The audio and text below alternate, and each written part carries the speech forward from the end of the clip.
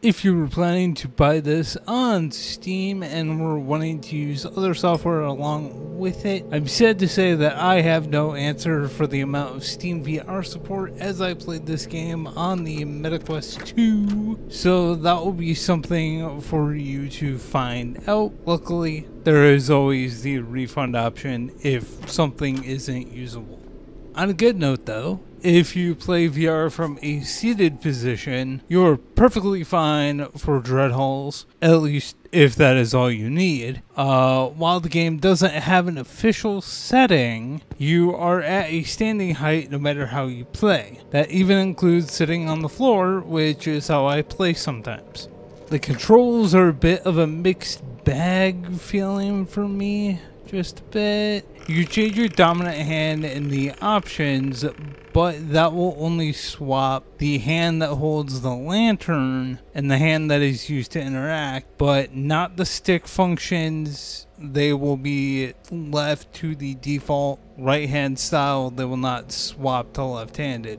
The upside to this is that if you are on the meta on a Meta Quest headset, you can swap the left hand in the accessibility section of the system settings and it will work with Dreadhalls and any other game just fine. If you want more customization, you can also go into the uh, headset settings in the accessibility section and you can actually now remap all of the buttons and the triggers and all that. But please do keep in mind that if you change any of those to something different when you are in game whether it be Dreadhalls whether it be any other game the prompts in game may still come up referring back to what they were originally. So keep in mind like what you switched to what button.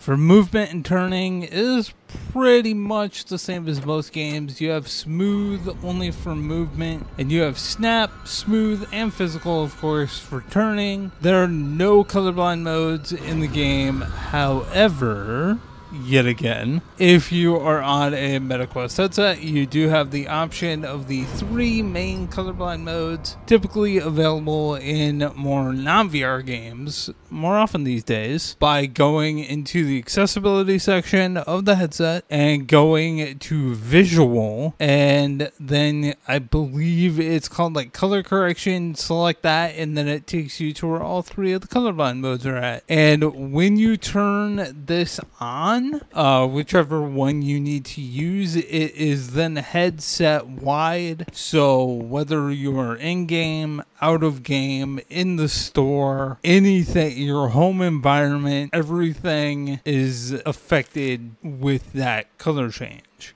Sadly, as far as I know, though, there are no pieces of software like that that would adjust things for color blindness on PC. So if you're playing this on PC VR and you need that as an option, I don't really know what to tell you. I don't even know if that would be possible on PC, be honest. For closed captions, it is a bit happier as yes, the game does have them. It isn't a setting. They're just on no matter what. It may not seem like it, but there isn't a lot of talking. There's there's not. It is more ambient sounds to toy with your mind, and it will.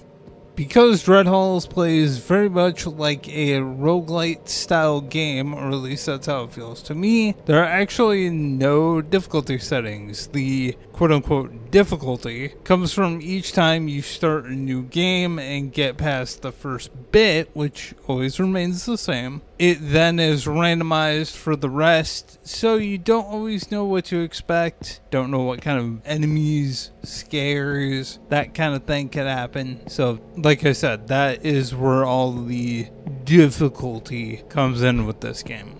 And now for the big part, I guess. I mean, really, the whole overview is that. But arm and upper body movement, and guess some some good news on this one. There is a grab helper as, I like to call it anyway, where you can grab an item even if it is a bit a ways from you, which is really good. I'm happy for that. But then it kind of falls a little bit, at least for me. I did have issues. The reason that I say that is because while this is a great thing for those with less arm reach, you need to hold the lantern most of the time in order to see ahead and around you or to see the map that you have to hold up to it or holding it up to refill it. All has me wanting to say